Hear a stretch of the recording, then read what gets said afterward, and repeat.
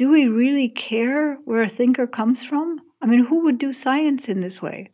I read only French biologists. Oh, not me. I read only German biologists. This is just funny. We read the biologists who are good, and we don't ask where they were born or grew up. Who cares? What we care about is whether we can learn from them.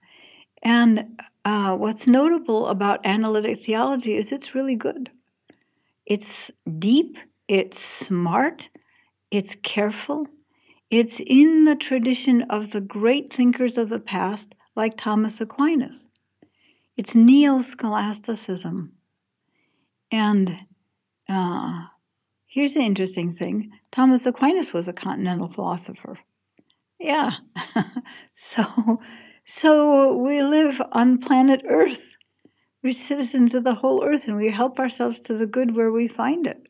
And it would be sort of funny if the only food you wanted to eat were the food from your own city and the only poetry you wanted to hear was a poetry written by somebody who was from your county and the only doctor you wanted to see was the doctor in your province, nobody would live like that. We go to the best, we help ourselves to the best. We're citizens of the earth, and analytic theology is really good. Yeah, that's why.